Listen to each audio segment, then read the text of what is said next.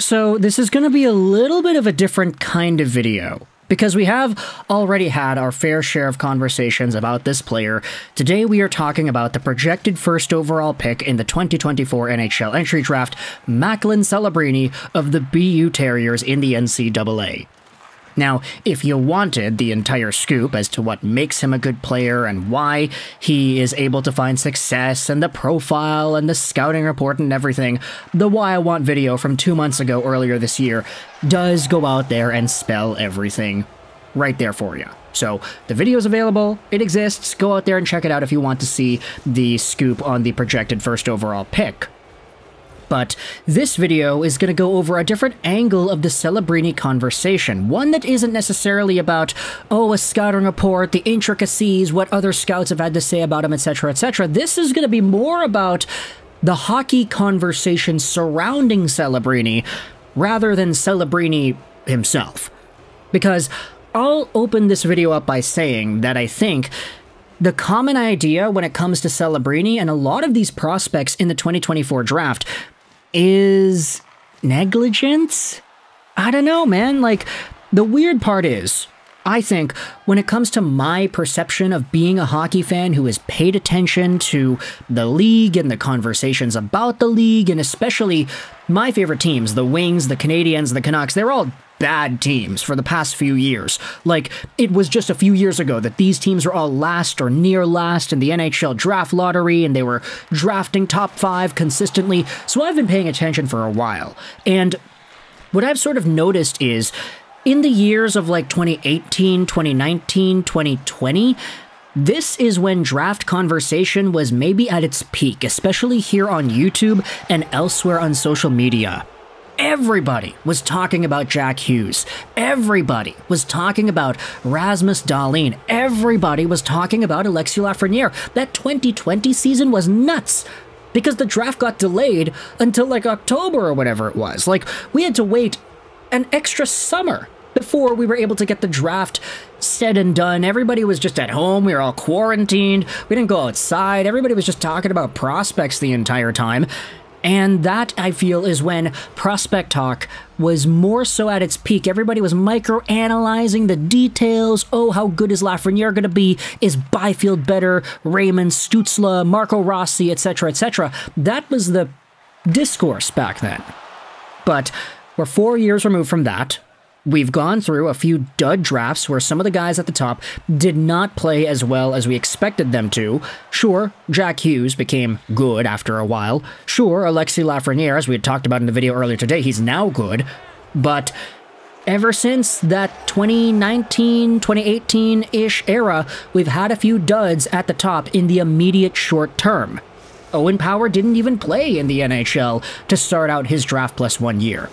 Shane Wright didn't even go first overall. Slafkovsky did, and he had some sort of a slow development path in the NHL too. People were calling him a bust as far back as like three months ago. So it was a big return to form, I feel, with the way Connor Bedard last season was lighting everything up because Connor Bedard had himself this incredible, incredible stock that carried itself from two, three years ago before the draft even began up until the date that Chicago Blackhawks selected him first overall. And he came in to the NHL. He impressed. He's a point per game guy right now, 57 points in 60 games for Chicago. The team stinks. He's a minus 39 but whatever. Like, if you put Bedard on any other team, he'll probably do phenomenally well and best out the point production he's got in Chicago right now. He's like the only guy who's actually good. But when it comes to the guy who's projected to go first this year, Macklin Celebrini, I feel like the conversations that we had about first overall picks years ago, like the Dahlins, the Hugheses, the Lafrenieres, not the quality of those players, but the conversations we had about them and what we thought about them, I feel like that is more so what we should be thinking about when it comes to Macklin Celebrini. And to help us out, I wanted to go over to some Twitter posts made by some of the local Canucks reporters and prospect people.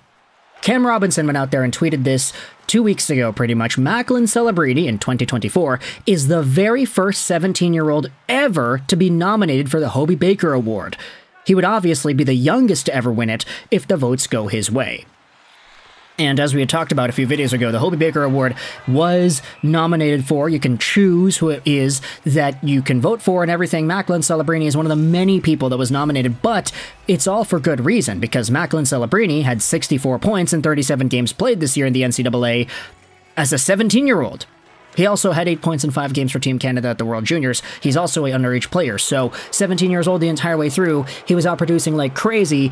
And just in case anybody asks, yeah, he was able to go to the NCAA early because he had extended schooling in high school. He was able to graduate sooner and he was able to enter college sooner, which is why he is an underage player playing here and dominating.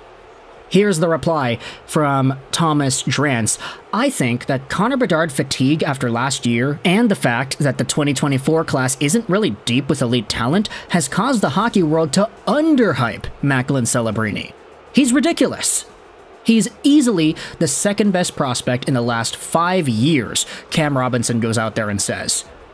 Now, Okay, second best prospect in the last five years. 2024 right now, so we'll include 2023, 2022, 2021, and 2020.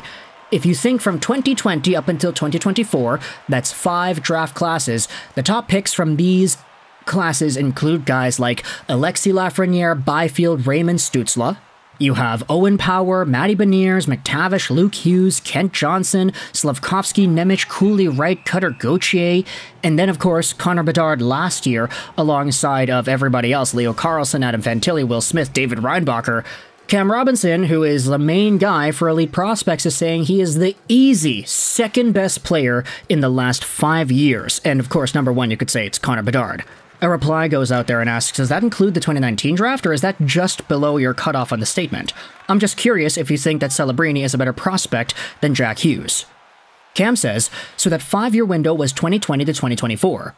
Jack Hughes versus Macklin Celebrini is an interesting one. Mac is the most dominant force in speed, power, and defensive play. But Hughes is the far more crafty player and elite thinker.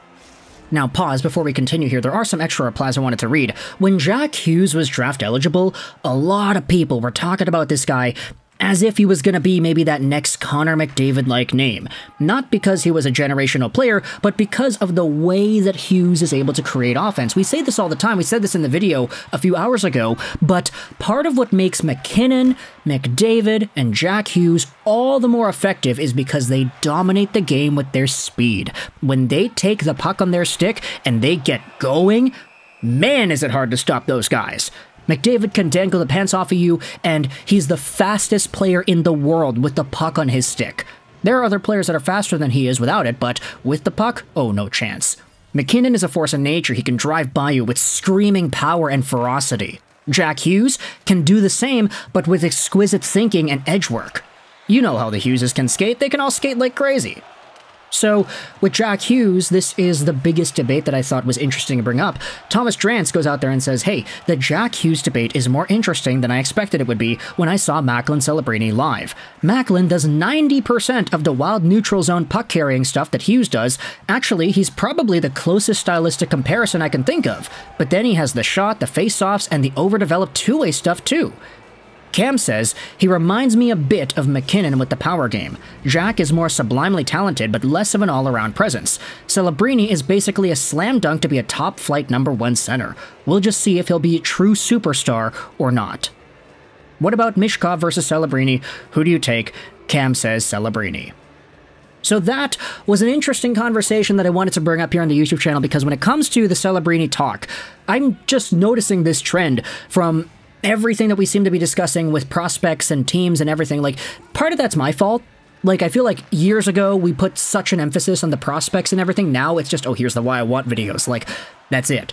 Nowadays, I feel like my content has sort of fallen into the trap that the rest of the hockey world online has fallen into, where it's like, yeah, we're talking mostly about news and prospects and not really so much about the draft guys anymore, especially since the draft now isn't really as deep or as interesting as it was a few years ago when you had Lafreniere and Byfield battling it out. You had the 2019 US NTDP team, and they were so good, and there were so many defensemen in 2018. That was the hype back then, but it's lost a little bit, I feel, over the past few years. But we should be really starting to see it back with Macklin Celebrini, and I hope this video goes out there and tries to inspire y'all into thinking about this guy more because he's just that gosh darn good. Thoughts in the comment section below about this entire video about Celebrini. I hope you enjoyed this video 99 and bye.